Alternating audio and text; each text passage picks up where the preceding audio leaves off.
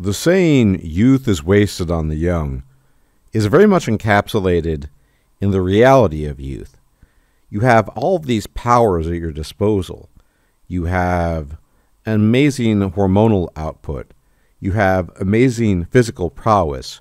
You are probably at your cognitive best. You have all of this potential, and yet you lack the life experience to make good on it, at least in part. And so you inevitably end up making lots of mistakes and regretting those mistakes despite this prowess. This prowess serves but one purpose in evolutionary terms to reproduce, but the side effect of that is that there are these things that you wish you could have done differently at some point in time. And today I want to talk about the roaring 20s, the age group so many young people fall into these days, not quite teenagers anymore, but also not fully adult, because I observe things that are recurrent. They happen again and again and again, whether it's my generation or the next or the one after. But Zoomers, I think, are in quite the bind. Now, I don't want anyone to think of this as advice. Anyone who's been with me for a while knows my view of advice. I call it the worst vice. The worst vice is advice. Advice is pretty useless, especially as it pertains to general life options, general life trajectories. It's one thing if you have a problem with, I don't know, your back or you lack certain mobility or flexibility in your muscles and ligaments, and you go to a physical therapist to get some counsel and advice. Now, I said advice, but that ceases to be advice functionally because you're going to a specialist who can help you with a specific problem. So, inasmuch as much as advice serves that purpose, I think it's fine. But broad, general, sweeping statements about what you should be doing in your life, you won't hear anything like that from me. And if you do, please don't look at it as advice. So, even though this is a video for everyone to consume, I would say it's broadly addressed to the young folk out there, the young men, the whippersnappers.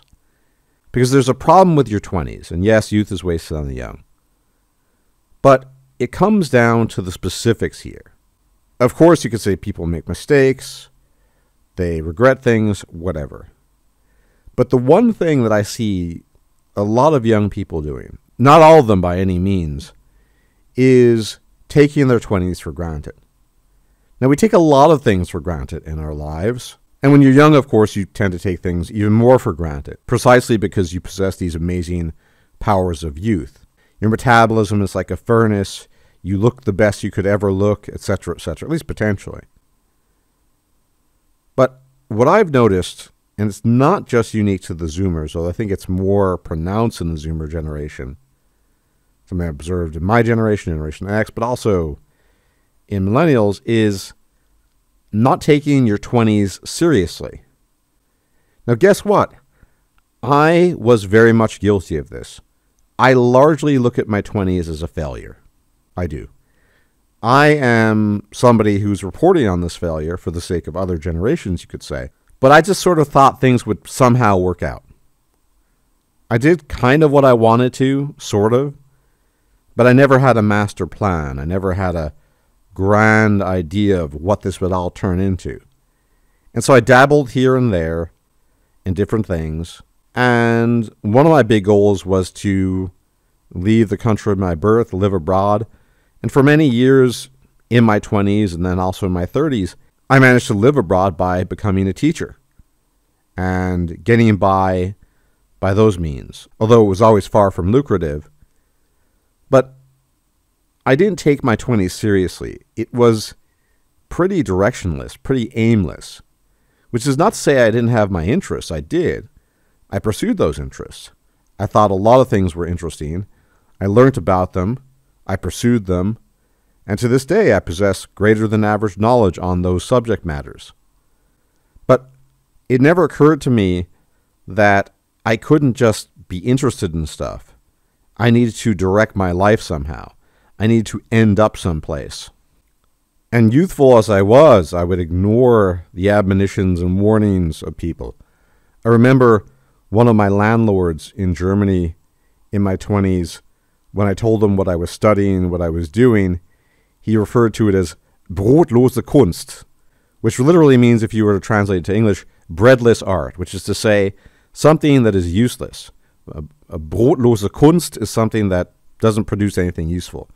This guy, by the way, was a doctor with properties, so you could imagine what he thought. So, this is not necessarily an admonition towards people who want to study humanities, although these days, given the state of universities, maybe, or social sciences, or even things that are not de facto useful. It's about applying those interests.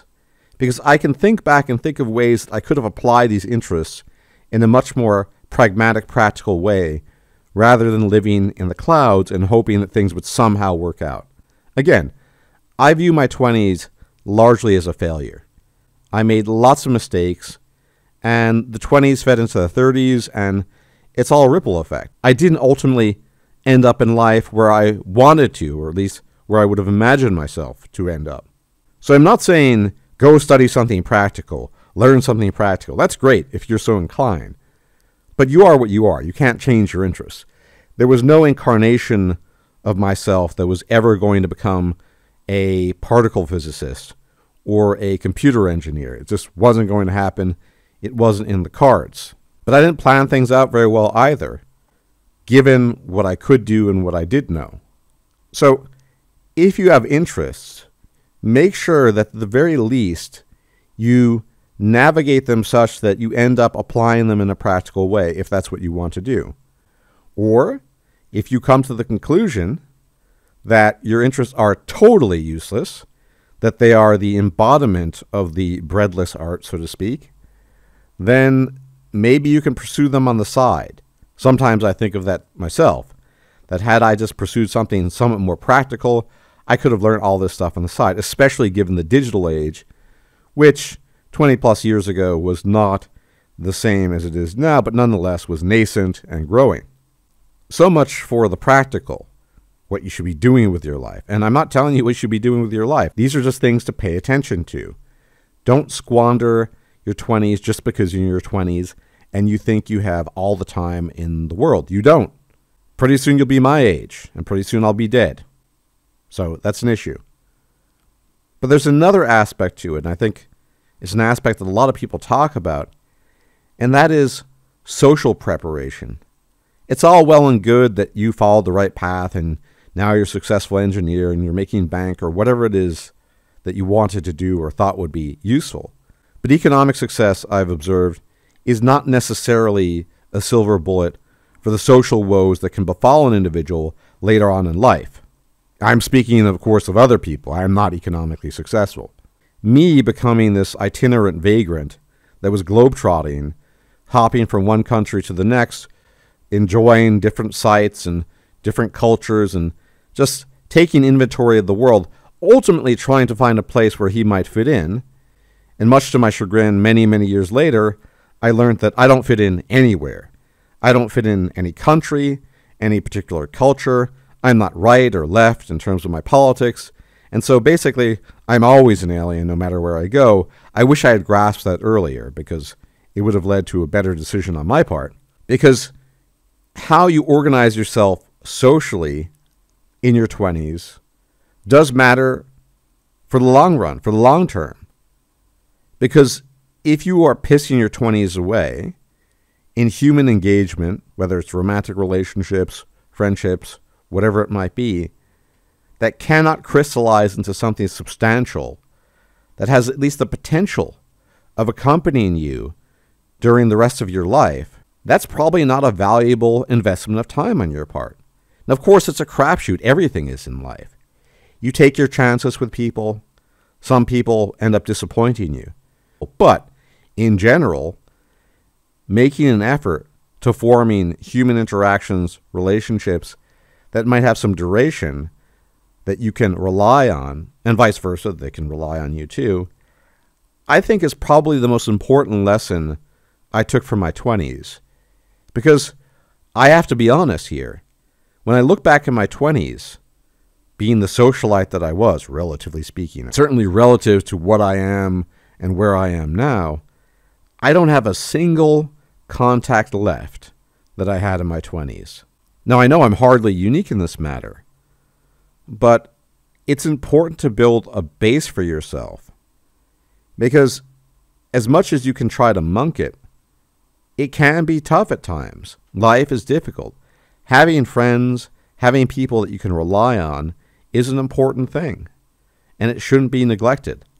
And as everyone has observed, once you leave the university scene, once you leave your 20s, enter your 30s, it becomes harder and harder and harder. And once you're in your 40s, it's pretty much GG. And after that, it's total GG. And I see a lot of people in their 20s just stumbling about, whether it comes to these pragmatic economic issues, which frankly speaking, I know a lot less about, I'd argue, or these issues of the interpersonal. It's very alarming.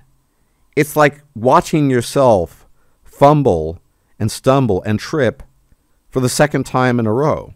Course, you're not there anymore. You're not in your 20s anymore. But I know far too many youths these days that are doing just that and telling themselves whatever admonishment they might hear from other people, those more aged, as it were, that they're going to be okay. They're somehow going to land on their feet.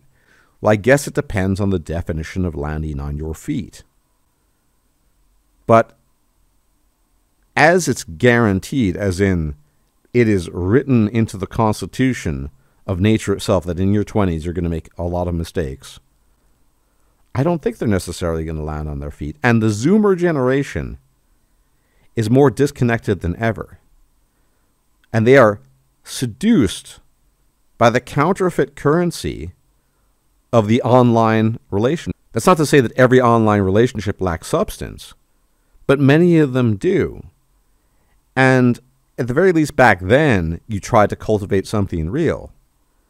But I know way too many Zoomers and guys in their 20s that are terminally online. And I get why. It's easier. It's easier to interact with people. It's easier to strike up conversation. Hell, it's a heck of a lot easier to talk about topics you otherwise would never broach in real life. Absolutely. And in the best case scenario, these online friendships, relationships crystallize into something real. But that's not that common. Ultimately, much of what the internet has to offer is counterfeit. But it is so convincing. Reality is fundamentally less appealing. Hence why it's understandable. But I can't repeat this enough. Your 20s are critical. It's very easy to squander them. Everything has a chain effect. Everything is the result of a concatenation of events that led to the next one. Your 20s were the result of what happened in your teenage years. And your teenage years were preceded by your childhood years, and so on and so forth. So, being aware of this, and the very least trying to steer things in a direction that you think will have duration, endurance, for the rest of your life, whether it's economically, socially, emotionally, and that's ultimately what I'm trying to get at. Looking for things that have endurance, things that can outlast the moment. The moment is beautiful, and as many a wise man has said, the moment is all we have. But there's so much more than the moment. Life ultimately is composed of many moments. And so if you want many moments you can enjoy, you have to be the long distance runner. You cannot be the sprinter. The sprinter will almost always fail, in my observation. And for the longest time, I was the sprinter. And I failed. My life, in many regards, has been a failure. And I'm here, in many ways, to warn you, if you're young, to course correct, lest you end up like me, or somebody even more shabby, if such a thing is imaginable. So your 20s are precious. You will not have them forever. They will wither away and pass you by faster than the blink of an eye, especially if you don't pay attention to them. So, something to think about. And none of this is advice, this is observation. I'm not telling you to become an entrepreneur as if every human being on planet Earth wanted to become one. This is just guru talk, of course. Hey, bro, just become an entrepreneur, make lots of money, uh, bro. Yeah, by you're 35, you'll be pulling all the punani, uh, bro. No, no, no, no. This is just life observation. Plant your seeds in your 20s, whatever the nature of those seeds might be, so that they might sprout in your 30s, 40s, 50s, 60s until your dying day. How you manage that is deeply mysterious because, again, there isn't a silver bullet formula for this stuff. It is capricious. Life, by its very nature, is capricious. All you can do is try to steer the boat in the right direction. But being aware of the fact that you have to steer the boat is, to be perfectly honest, much more potent than being completely lost up the creek without a paddle, which is what I observe constantly. I know I was for the longest time, and it only came to reality far too late. And many Zoomers deceived by the counterfeit of the online world are being similarly deceived. Just be aware. Don't squander your 20s. You only have them once, and they are critical for the rest of your life. As always, thank you for tuning in. Special thanks to my patrons and anyone who donates to me on PayPal. You guys are the best. You support the channel and keep it going. You have my everlasting gratitude. And if you can engage in the usual YouTube jazz of liking the video, sharing the video, commenting, and subbing if you're not yet a sub, much appreciated because my channel is basically shadow banned. It does not get nearly as much traffic as it ideally should. And that's what happens when you're me. In any event, until the next time may the gods watch over you. If I am fortunate enough to still be alive and hale and healthy, I'll check out then. Take care, and bye bye for now. If you liked this video, please like, share, and subscribe. And if you enjoy my content, please consider making a donation or becoming a patron. Thanks for watching.